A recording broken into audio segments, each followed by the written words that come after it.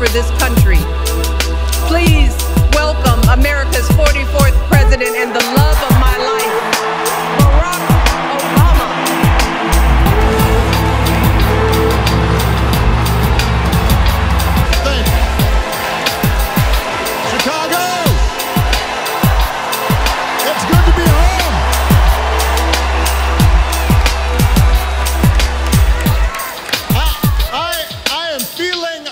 Ready to go.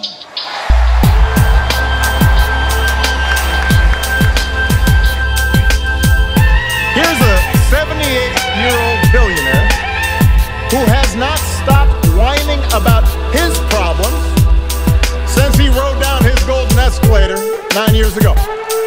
It has been a constant stream of, of gripes and grievances that, that's actually been getting worse now that he's afraid of losing confidence. There's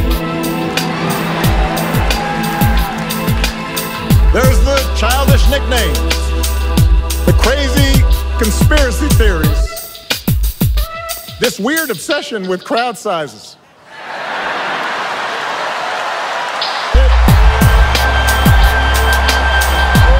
We do not need four more years of bluster and bumbling and chaos.